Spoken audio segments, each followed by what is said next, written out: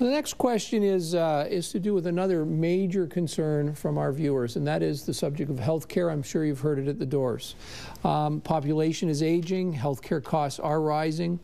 The question for you today is what do your party what does your party plan to do to ensure that there is adequate health care, that it's available in a timely manner, and that it's available and delivered in a cost-effective manner, both to Ontarians in general and in your riding specifically? Uh, health care, like education, is a is a service. We, again, would allow competition in health care. Uh, we would allow doctors to opt out of OHIP. That, currently, that's against the law. There already exists a multi-tiered healthcare system in Ontario. The wealthy can go to the States and they get better, faster care there. Why? The well-connected can jump the queue and get better, faster care here. So why, why should we allow people to spend their money in the States and prevent them from having, from spending it here with, and, and getting better and faster care? We'd get rid of the government monopoly, and instead of restricting care, we'd allow an abundance of care. We would allow many more doctors. We would allow a private system in parallel to the public system, and eventually that private system, I guarantee, will just make the public system disappear.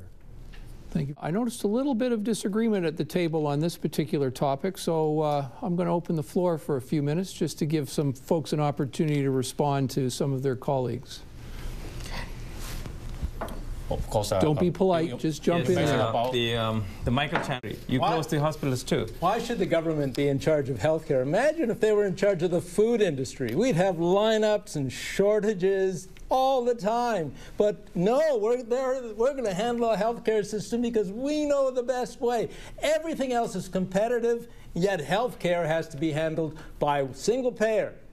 That's ridiculous.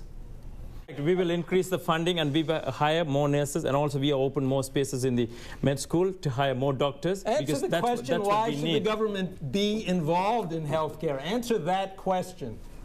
Can any Well- of you answer that question? the- I don't think so. Well, the, That's thi- how the the reason government- is because if you leave healthcare in the private sector, It then only better. then only the rich can afford to get sick. I don't think so. I think so. People can buy food at any level, and people will be Look able to at afford healthcare. You know African how much we countries. pay Look at the for developing healthcare? countries. We pay Look at the developing $4,000 countries. a year. One at a time, for gentlemen. healthcare.